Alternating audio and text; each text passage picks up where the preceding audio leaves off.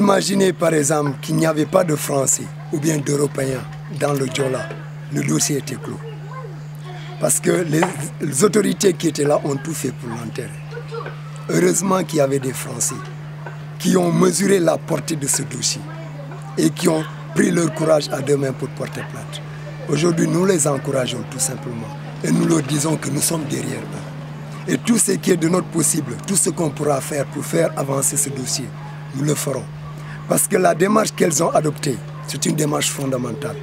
Ces familles luttent pour que la vérité soit faite, on en a besoin. Elles luttent pour que le renflouement soit, le bateau soit renfloué, nous en avons besoin. Elles luttent pour la justice, nous en avons besoin. Elles luttent pour la mémoire des familles de victimes. Et ce n'est pas seulement pour les Français, mais c'est pour toutes les victimes, les 1953 morts. Donc nous les invitons vraiment à persévérer. Nous sommes derrière eux. Nous allons continuer le combat ensemble.